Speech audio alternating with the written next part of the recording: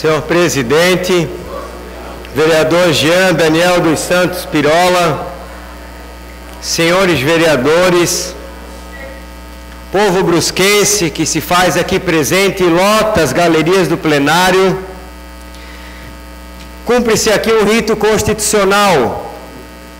As formalidades e procedimentos jurídicos investem temporariamente das funções de prefeito do município, com a responsabilidade de gerir os negócios públicos até que a Câmara Municipal defina os titulares dos cargos de prefeito e vice para cumprir o mandato até 31 de dezembro de 2016.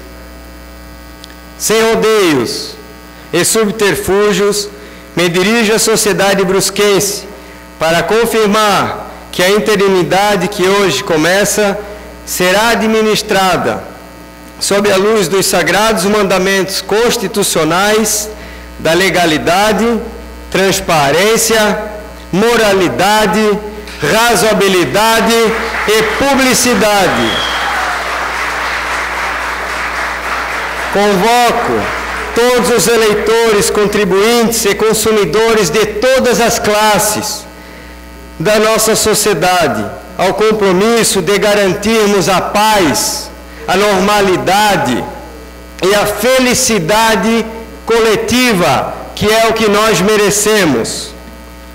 A Câmara Municipal de Brusque, casa de anseios populares, será, será convidada a governar junto e a exercer a larga experiência de conhecer os problemas, dramas e anseios da base de todo o nosso tecido social. Nossos atos administrativos serão para todos, sempre direcionado a promover políticas públicas, hábitos, costumes, valores e tradições. Respeitaremos sempre os cidadãos no amplo sentido constitucional. Eles serão o foco de todas as decisões que lhes permitam um acesso completo e irrestrito à saúde, educação, transporte, segurança, creche, habitação e cultura.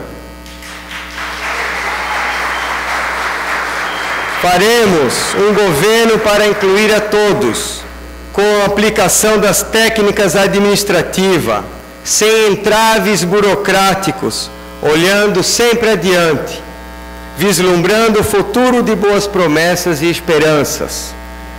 O gabinete do prefeito e de todos os secretários estarão sempre abertos para escutar a voz das ruas, que serão fonte e medida das decisões deste governo Desejamos transformar a Prefeitura numa mesa redonda que permita livres manifestações, debates, negociações e os entendimentos com as entidades governamentais e não governamentais. Vamos juntos, movidos pelo esse desejo de avançar, firmar um pacto por Brusque e sua gente Carrego comigo a força da juventude, desejo de acertar, entusiasmo de realizar com sucesso essa experiência desafiadora. Vamos todos juntos e confio nessa sensação boa que vocês estão nos passando. Salve Brusque, imortal! Muito obrigado!